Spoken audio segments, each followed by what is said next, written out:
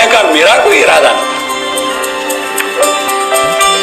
जूझने का मेरा कोई इरादा न था, मोड़ पर मिलेंगे इसका वादा न था। रास्ता रोककर खड़ी हो गई, ये लगा ज़िंदगी से बड़ी हो गई। मौत ज़िंदगी से बड़ी कैसे हो पूर्व प्रधानमंत्री अटल बिहारी वाजपेयी की पहली जयंती आज है। अटल जी ने अपने जीवन में कई किताबें लिखी। कैसे वो आए राजनीति में? एम्स के डॉक्टरों ने कैसे अटल बिहारी वाजपेयी को जेल जाने से बचाया पेश है एक रिपोर्ट। मैं जी भर किया मैं मन से मरूं लौट कर आऊँगा कूच से क्यों डरूं? तू दबे पाओ चोरी छिपे से ना सामने वार कर फिर मुझे आजमा मौत से बेखबर ज़िंदगी का सफ़र शाम हर सुरमई रात बंसी का स्वर। बात ऐसी नहीं कि कोई गम ही नहीं। यीशु मसीह का जन्मदिन यानी क्रिसमस तो आज है ही साथ ही पूर्व प्रधानमंत्री अटल बिहारी वाजपेयी की भी पंचानवेवी जयंती है। हर भारतीय और खासकर लखनऊ वालों के मन में आज के दिन अटल जी की कविताएँ, उनके भाषण और उनके खाने पीने के शौक की यादें घुमड़ रही होंगी। मौत से ठन गई। जूझने का मेरा कोई इरादा न था। जूझने का मेरा कोई इरादा न था। मोड़ पर मिलेंगी इसका वादा न था। रास्ता रोककर खड़ी हो गई। ये लगा ज़िंदगी से बड़ी हो गई मौत ज़िंदगी से बड़ी कैसे हो सकती जूझने का मेरा कोई इरादा न था मोड़ पर मिलेंगे, इसका वादा न था, रास्ता रोककर वह खड़ी हो गई। यूँ लगा ज़िंदगी से बड़ी हो गई। मौत की उम्र क्या? मौत की उम्र क्या? दो पल भी नहीं। ज़िंदगी सिलसिला आज कल की नहीं। लेकिन इन सब के अलावा और भी बहुत कुछ होगा अटल जी की यादों से जुड़ा, जिसे लखनऊ के लोग आज शिद्दत से याद कर रहे होंगे। अटल जी खान पान के बेहद शौकीन थे। ग्वालियर के भादुरा के लड्डू से लेकर आगरा के राम बाबू के पराठे उनकी पसंदीदा चीज़ों में शामिल थे।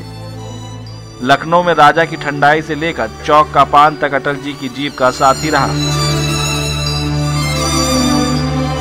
वो कई बार खुद कहते थे, मुझ जैसा चटोरा शायद ही कोई हो। लेकिन आज हम उन्हें याद करने के लिए चलेंगे मध्य प्रदेश के ग्वालियर शहर। इसी शहर में 25 दिसंबर 1924 को अटल जी का जन्म हुआ था। शुरुआती पढ़ाई लिखाई यहीं हुई इस लिहाज से इस शहर से उनका खास लगाव था। अटल जी का यूपी की राजधानी लखनऊ से भी बहुत जुड़ाव रहा है। अटल जी संघ के प्रचारक के रूप में 1942 में लखनऊ आए थे। पीएचडी करने का इरादा था उनका, लेकिन अटल जी की पीएचडी पूरी नहीं हो सकी। अलबत्ता वो सफल पत्रकार और राजनेता ज़रूर बन गए।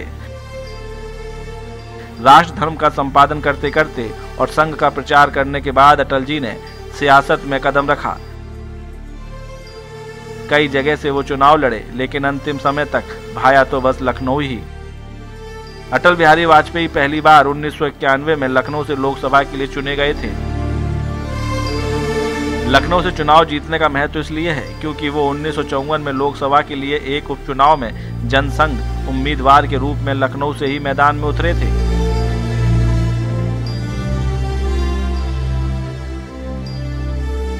उन्नीस सौ इक्यानवे में लखनऊ से मिली जीत के बाद तो अटल जी का कद हिंदुस्तान की सियासत में बढ़ता चला गया और वो प्रधानमंत्री की कुर्सी तक भी पहुँचे। देश के महान नेताओं में अटल जी को ऐसे ही नहीं गिना जाता है।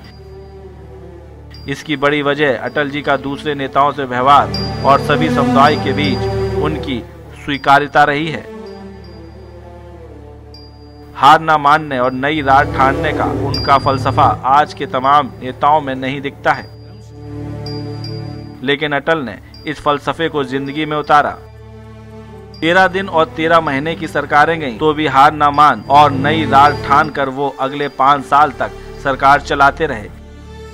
वो भी 26 सहयोगी दलों के साथ। ज़िंदगी को ज़िंदा दिली से जीने वाले अटल जी ने मैं जी भर जिया मैं मन से मरूं कहने का साहस भी कविता के ज़रिए दिखाया और वो भी ओज के जी साथ। भर जिया मैं मन से मरूं लौट कर आऊँगा कूच से क्यों डरूं? तू दबे पाओ चोरी छिपे से ना।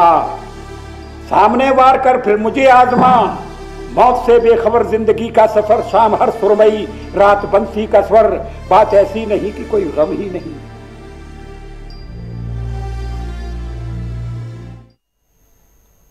तो बुलेटिन में इतना ही आप देखते रहिए लाइव टुडे।